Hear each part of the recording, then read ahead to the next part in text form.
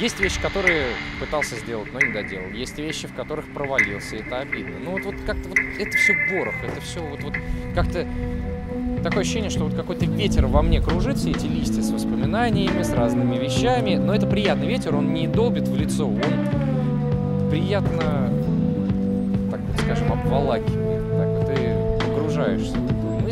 А вообще при этом ты задумаешься о том, что в центре Москвы, центр Москвы, вообще город люблю Москву, и поэтому все это где-то здесь и есть счастье. Вот где-то оно здесь, но не, ушло никуда. И если вдруг кажется, что оно вдруг убежало, оно просто за дверь вышло.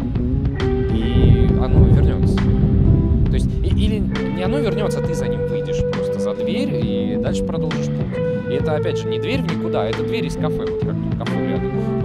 Ты просто, ну, условно говоря, вот из подъезда вышел. То же самое, двери перед нами. Дверей-то много. Вот я говорю, мысли именно такие, что все хорошо. Хотя местами кажется, что все плохо, на самом деле нифига подобного, все хорошо. Вот это вот важно. Во-первых, сама по себе осень была теплее. Вот просто, я имею в виду сама, ну, погода, какая она красивая вся была осень. И вот настолько это эмоционально скрасило вообще все возможные негативные последствия. А второе, несмотря на некоторые провалы с работы, а там именно с этим это было связано, с Олей у нас все хорошо. Скажем так, для меня вот новый момент начал лекции читать. То есть э, это тоже момент э, интересный.